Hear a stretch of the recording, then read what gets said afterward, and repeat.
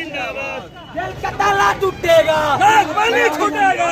Jail का ताला टूटेगा नागमणि छूटेंगे। साथ में। पूछिए पूछिए। हिम्मत नहीं आ रहा मैडम सर का गिरफ्तारी हुआ क्या कहना चाहते हैं? अब यहाँ की जनता जो करेगी बस हम यहाँ की जनता से प्रणाम करते हैं कि उनको किसी तरह निकलवाएँ। उनके खिलाफ सब लोग लग गया है। बस यहाँ की जनता से हम यही करना चाहिए कि उनको किसी तरह निकलवाएँ। फाटक टूटेगा। जेल के फाटक टूटेगा। बहुजन समाज पार्टी जिंदाबाद। जिंदाबाद। जिंदाबाद और उनको यहाँ से जिता के भेजे उन लोगों को मुँह तोड़ जवाब दे किस पर आरोप लगा रहे हैं मैडम आप? हम कहते हैं बीजेपी और कांग्रेस दोनों ही हमारे खिलाफ का, काम कर रही है। क्योंकि दोनों यहाँ पे बैठ फॉरवर्ड क्या जनता से अपील करना चाहते हैं मैडम? फॉरवर्ड है हम लोग बैकवर्ड है। इसलिए हम लोग को दबाना चाहती है लेकिन हम लोग दबने वाले नहीं। जनता से क्या अपील करना चाहते हैं? जनता से हम जनता हमारे साथ है। जनता से कुछ अपील नहीं करना जनता सब जान रही है। देखिए राजन मेहता मैं बोल रहा हूँ यहाँ मानववाद समांतवाद ताकत हावी है। यह नागमणि कुशवाहा के देख करके बढ़ते हुए लोकप्रियता को देख करके यहाँ के विरोधी लोग अकबका गए हैं। हम यह बताना चाहते हैं कि बहुजन समाज पार्टी के लोग बहुजन समाज विचारधारे के लोग एसी एसटी ओबीसी माइनॉरिटी गरीब सोन जात नागमणि कुशवाहा के साथ हैं और अब अरवर लोकसभा के चुनाव में नागमणि कुशवाहा चतरा लोकसभा क्षेत्र से रिकॉर्ड मत से जीतेंगे रिकॉर्ड मत से जीतेंगे इसको कोई रोकने वाला नहीं है।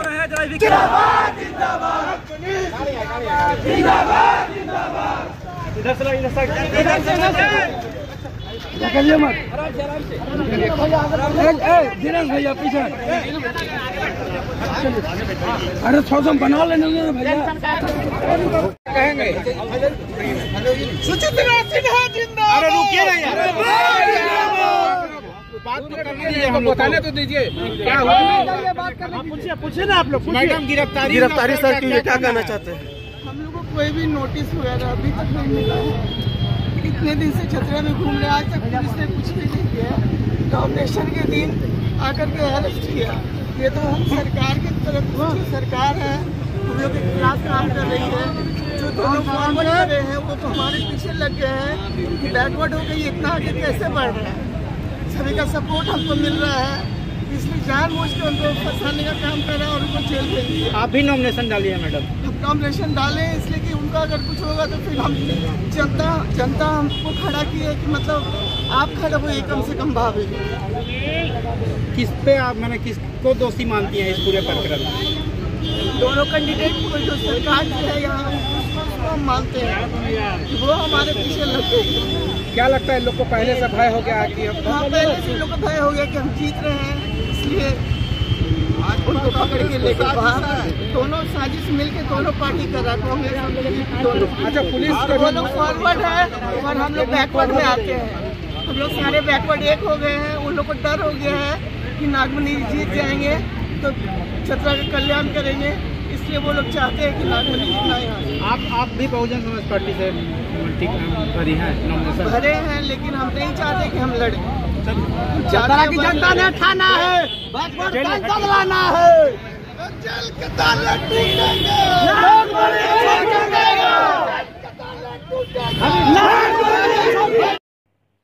नमस्कार दोस्तों मैं अमित कुमार सिंह और आप देख रहे हैं परसुमित लाइव न्यूज़।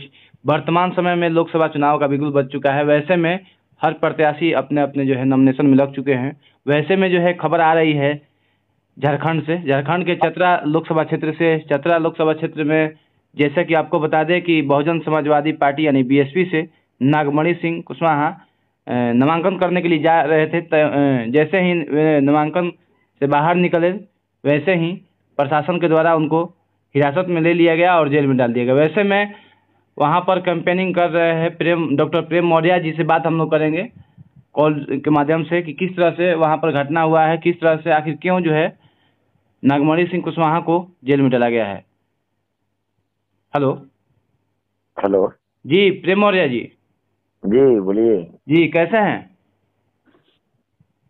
सब ठीक ठाक है अपना बताइए। देख रहे थे कैंपेन कर रहे थे आप नागमणि जी का। क्या क्या घटना हुआ है? कैसे हुआ है वहाँ पर?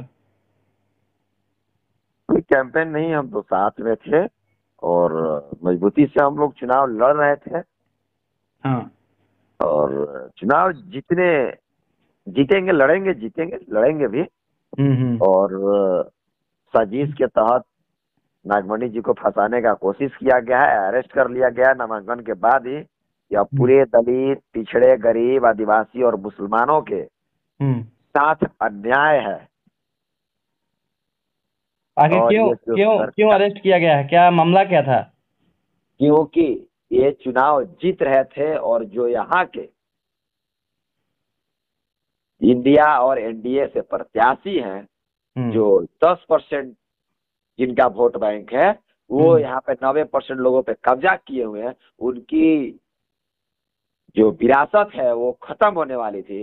इसलिए षडयंत्र के तहत नागमणि जी को फंसाया गया क्योंकि पूरा दलित ओबीसी माइनॉरिटी और आदिवासी हम्म, पिछड़े गरीब वंचित सारे लोग नागमणि जी के साथ थे और इस डर से सरकार जो है वो डरी हुई थी और जो बीजेपी के प्रत्याशी हैं उसके स्वजातीय हैं एसपी हम्म, सारे लोगों ने षडयंत्र रच के हम्म, हम्म, और फंसाने का काम किया। ये कैसे एक पिछड़ा का बेटा हम्म।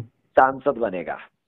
जगदेव प्रसाद बाबू जी का जो है सुपुत्र है नागमणि जी हाँ, उन्होंने नारा तो- दिया था सौ में नब्बे तो- सौ नब्बे तो इन लोगों का ही है कि आखिर पिछड़ा का बेटा सांसद कैसे बनेगा? हम्म इस चीज़ को रोकने के लिए नॉमिनेशन से रोकने के लिए ऐसा साजिश किया गया तीन दिन पहले से ही। केस कुछ नहीं है सारा कुछ षडयंत्र के तहत है। एक आचार संहिता का केस है 2014 का एसपी बता रहे हैं। 2014 में इटकोरी थाना है उसमें आचार संहिता केस हो जबकि हम लोगों को कुछ नहीं मालूम था। हम्म। तीन दिन पहले मालूम चला कि ऐसा ऐसा है और रेड वारंट एक पे जारी होता है। हम्म। रेड वारंट कब जारी होता है? जब कुर्की जब्ती हो जाता है तब लेकिन वहाँ पे सारा लोग इन्होंने इन लोगों ने शो किया।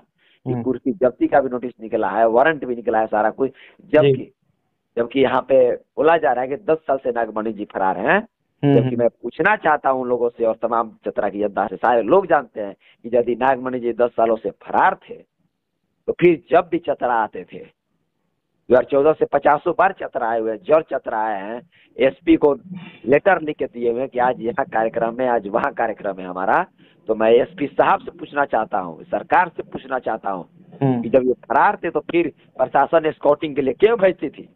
हम्म। क्या आगे क्या और प्रोसेस है? और हाँ। और और गार्ड भी मुहैया कराया था दो दिन पहले गार्ड को हटाया गया ये वारंट है फरार है। जब दस साल से फरार हैं तो फिर गार्ड किसे मुहैया हुआ था?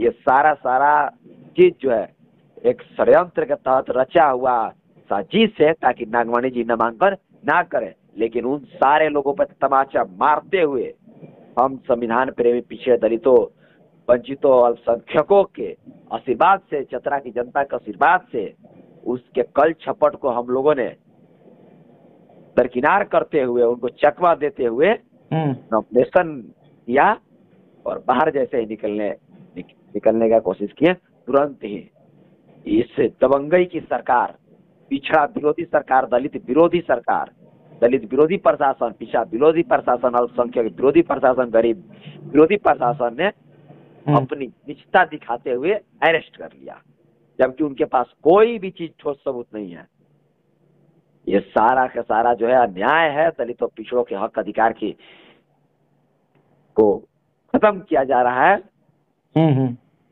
ये पूरे तरह युवा कुशवाहा युवा के राष्ट्रीय अध्यक्ष हैं तो क्या कहिएगा युवा के लिए? किस तरह से आप लोग खड़े हैं? हम्म, तो कुशवाहा का ही बात है कुशवाहा तो है ही। पूरे दलित ओबीसी पिछड़ा माइनॉरिटी गरीब वंचित आदिवासी सारे हम्म। लोग साथ हैं क्योंकि ये लड़ाई जो है वो नब्बे बनाम दस की लड़ाई है। क्योंकि चतरा की जनता ने आह्वान किया है कि वोट हमारा राज तुम्हारा नहीं चलेगा नहीं चलेगा दस का शासन। सौ में नब्बे शोषित है। नब्बे हम्म। भाग हमारा है। धन धरती और राजपाट में नब्बे का भाग हमारा है। दस का शासन नब्बे पर अच्छा, नहीं चलेगा। हम्म। नहीं चलेगा। यहाँ की चतरा की जनता ने इस चीज़ को मुहिम को छिड़ा है और चतरा की जनता ने ठाना है। पिछड़ा सांसद बनाना है और अच्छा डॉक्टर प्रेम आगे क्या आगे क्या इरादा है? नॉमिनेशन हो गया है। अब तो जेल में चले गए हैं। और सुन लीजिए चतरा की जनता ने ठाना है हम्म। पिछड़ा सांसद बनाना है और हम्म। दस परसेंट वालों को हम्म, दस परसेंट वालों का जमानत जब्त करवा के लगाना है हम्म। तो आगे आप लोग किस तरह से उनके साथ खड़े हैं चुनाव में चुनाव में कैंपेन नहीं पूरा पिछड़ा दलित ओबीसी आदिवासी माइनॉरिटी सारे लोग एक एक गाँव का लोग एक एक जनता जितनी है जितने बैकवर्ड समाज से लोग हैं दलित हैं माइनॉरिटी हैं पिछड़े हैं, वंचित हैं, गरीब हैं, आदिवासी हैं। सारे लोग नागमणि जी के साथ एक स्तंभ की तरह खड़ा है, चट्टान की तरह खड़ा है और इस जो कृत्य किया गया है, जो आवाज़ दबाने की कोशिश की गई है, इसका जवाब चतरा की जनता